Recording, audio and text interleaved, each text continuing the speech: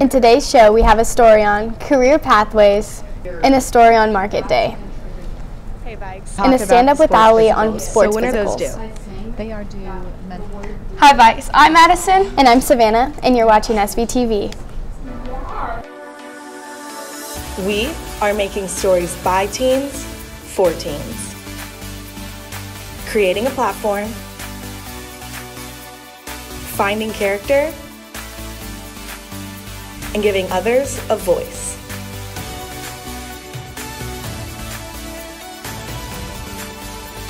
This is SVTV.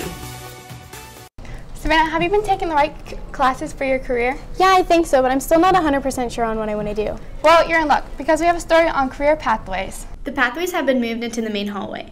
We went to find out what pathways are. Okay, so a pathway is a way to try to help students organize what they want to learn in an area of interest. It's good to take different lot of different things, but it's also if you're interested in teaching, then you should look at the teaching pathway and try to get you'll have better skills and be better prepared when you go on to college to be a teacher if you have the if you have that pathway. I'm planning to take their biomed pathway or like their science pathway. So I started by taking Intro to Agriculture, and from there you can either take animal science or horticulture, like you pick um, whether you want the plant pathway or the animal pathway.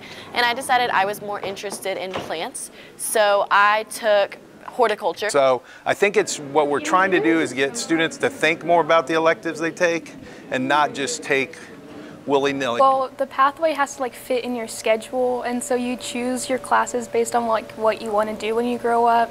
And I'm going to choose a bunch of science classes because that's like targeting what I want to do. I think they're helpful because right now high school it's like a difficult time and like you're just figuring out like what you want to do. And so the pathways kind of help on like giving you different options on like what you want to do for a full career. If you're really wanting to pursue a career in a pathway, you may be able to take an internship.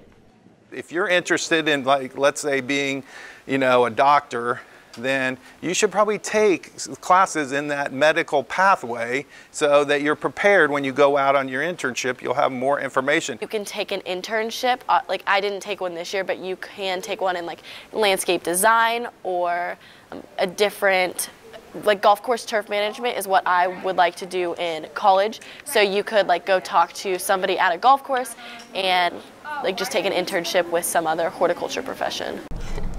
Those sound like they would be really helpful. Well, here are some quick announcements. Students, please park in the right parking spot. If you do not have a parking stall, make sure to purchase one. The fall play will be tonight and Saturday. Tickets can be bought at lunch for $5. The letter jacket man will be here Tuesday, November 19th during lunch. He will be in the commons to take orders and answer any questions you may have. If you have your letter, make sure to bring it with you. Before we head over to sports with Madison, here's a quick commercial break. We interrupt our program to bring you this important message. Hi, my name's Elias Mosier, and I used to not be able to do parkour.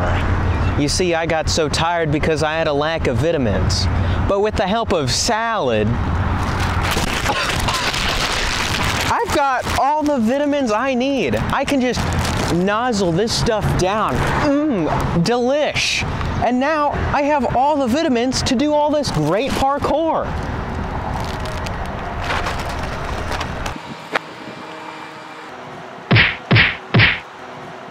We return you now to your regularly scheduled program.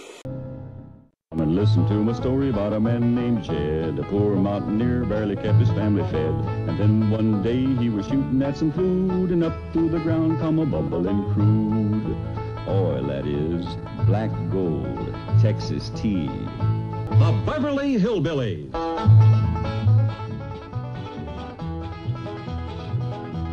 Come see the Beverly Hillbillies on November 16th from 7 p.m. to 9 p.m. in the auditorium. $5 at the door. Better get a front row seat. Hi, my name's Elias Mosier, and as many of you know, I love parkour. So much so that I've been trying to spread the knowledge of vitamins to everyone. But recently, I've hit a wall in my parkour experience. That was until I started training under a furry master, the GOAT. And today I'm here to introduce to all of you the power of the GOAT. The goats also make sure everyone hears them when they're about to do their parkour by bang. But instead, I do Every day they do many laps and run a whole bunch up and down stairs. You know, they also have the magical technique of the random jump. Sometimes they'll be standing somewhere and just jump, and it's crazy. The goats also use masterful techniques of nibbling on random objects.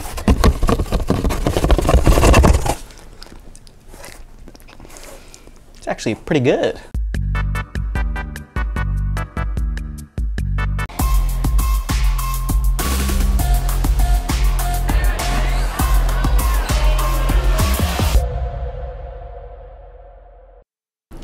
Winter sports begin Monday.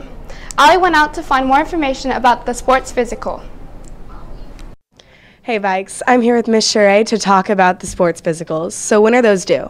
They are due Monday. That's the first day of, of practice, so they need to be in Monday before 3 o'clock. Okay, awesome. And what do students need to fill out on those? The physical itself, here's page one. The doctor fills out page two, and then along with that is a parent consent form that is need to be signed by both parent and student, along with the concussion form and the assumption of risk form. Okay, awesome. Make sure and have those done. Now back to your anchors.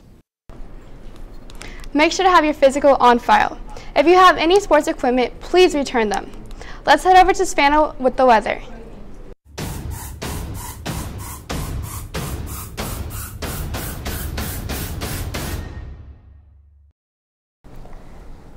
Today's high is 58 and tonight's low is 36.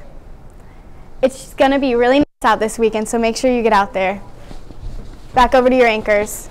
Savanah, did you go to Market Day last week? Actually, I had a group in Market Day. Well, for the students who did not go, this is what you missed. Students are on the move to purchase goods from Market Day.